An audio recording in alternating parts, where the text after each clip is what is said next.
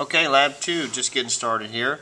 If we go back to our home menu, got a home button over here, that's going to take us back to our regular screen, okay, which is going to tell us range, delay, velocity information, that kind of stuff. Alright, so we figured out from lab one how thick this block was. So we're using that thickness now. we're just using our regular old IW block like we had over here, or like we had in lab one. We've got this thickness right here, which is what we figured off UT, or sorry, we figured off lab one as four inches. What we're going to figure in lab two are what is the depth, or is, I should say, what's the depth to this little notch. Turn the notch towards you, you can see it a little bit. What's the depth to that notch, and the depth to this step. And we're going to measure that from the top side here. So I'm going to move my transducer over the top of that notch and step and the 4 inch range all at the same time. So when I did that, it took me to a screen that looked like this. Okay, if I just go back to the 4 inch signal, there's my 4 inch signal coming right up at 100%. So then I come over here, back to the notch and the step, and that's what we see right there. So if we get a little more goop, there we go, right there. Now we have our 4 inch signal. Now we have a signal at 90% and then we have a signal at about 85%. So we need to look at this right here. If we're looking at this transducer, looking at the transducer down, we see from the transducer down the closest thing to the transducer is going to be this notch. Okay? Then the next thing is going to be this step and then the next thing is going to be this 4 inch range. So we know already that this signal over here going straight up past 100% is the 4 inch range. But what we don't know is from the transducer, if we considered our initial pulse over here, the top of the plate, bottom of the transducer, and traveled over, okay, we would be looking at what this signal is, then the next signal, then there's our 4 inch signal. Okay? So if we go down here and look, get a little bit closer. Might be a little grainy for you. But if you're looking here, I can keep from knocking the camera. Here's our 4 inch signal at 100%. Okay, 100% screen width. So then we come over here. Here's another one coming right up, and that's right at 90% screen width. And we're measuring that from here's our 50 mark, 60, 70, 80, 90. Okay? So then we've got a signal here in the middle between 80 and 90. So here's 82, 84, 86, but that signal is breaking the baseline right at 85%. So our equations that we're going to figure out, or our thicknesses, or how we're going to figure them out, if you have a little calculator handy, we are going to take 0.85 or 85% times our screen range which in this case our screen range is 4 inches. So 0.85 times 4, that's going to give you the depth to the notch because it's closer to the transducer like we said before. Then we're going to come back over, look at this 90% and take 0.9 times 4 because there's our 4 inch screen range. And that's going to tell us the depth to this step. And then if we were just looking just to make sure we knew where we were, there's a 4 inch or 100% signal at 4 inches. 100% of 4 inches is 4, and that's the signal from this back wall here. Okay, so question 1, what's the depth to the notch?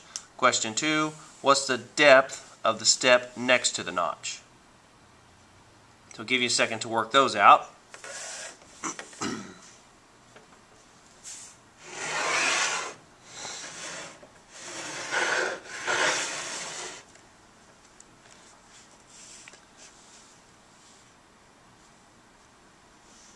All right, next part of the lab, if you're still reading it there, says calibrate to a 3-inch screen range using any 1-inch calibration block. Okay, so we're going to go back over here to our 1-inch thick IIW block.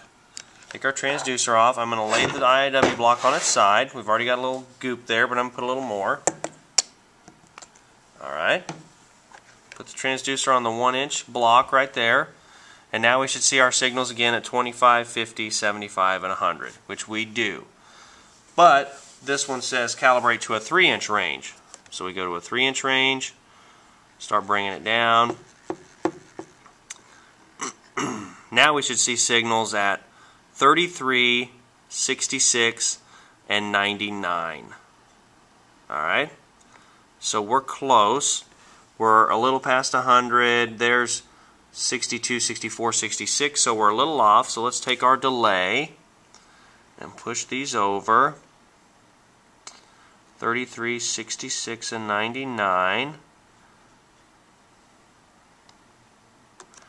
Okay, so 30. Let's just make sure here's 10, 20, 30, 3, 66, 99.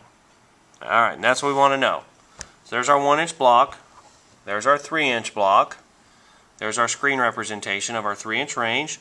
So I take the transducer over here to the three inch block. There it is on the three inch block.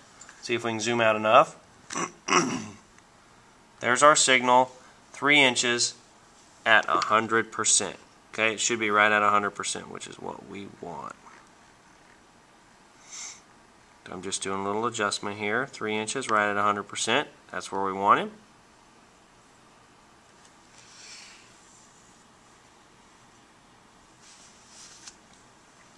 Alright, so from there, we jump over here, and we want to measure the depth to this hole right here.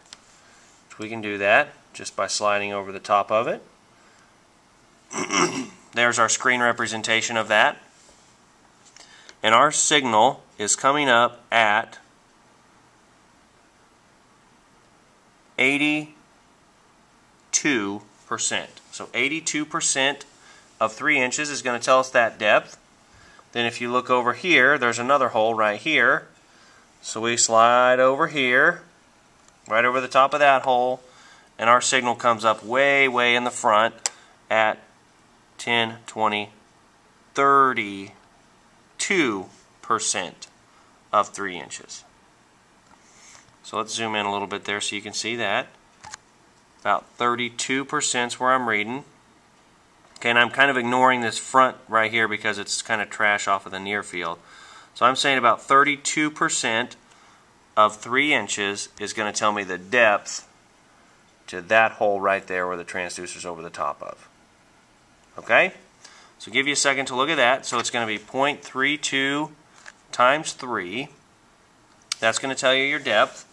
And the other one, I'll just move the transducer back, was 0.8283 or 83% of 3 inches. Okay, give you a second to look at those. And that is the first two labs.